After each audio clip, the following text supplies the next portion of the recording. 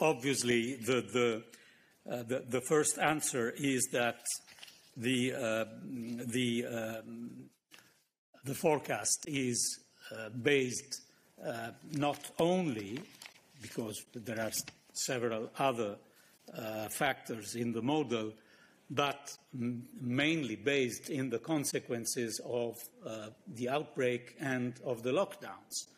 Um, we would never have had a recession of uh, seven point something uh, at the EU, EU, EU uh, average and uh, near to 10% in some countries without this outbreak and without lockdown. So the, the, the main reason is uh, that this uh, outbreak affected countries and also regions of countries in different ways, and this is uh, the, the, the, the, more easy answer to, to, to, your question. I wouldn't say, in any case, that Poland is uh, uh, completely uh, non um, affected by consequences. For example, there is a, an increase in, um, in unemployment rate um, and this is not the only uh, eastern country that will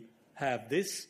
And this is uh, connected both to the fact that uh, unemployment was were very low in, in, in, some of these countries, and uh, also to the fact that uh, labor market is more flexible than in uh, other uh, European countries. So we have a, a, forecast for Poland of an employment unemployment rate going from 3.3 to 7.5, Uh, which is a number.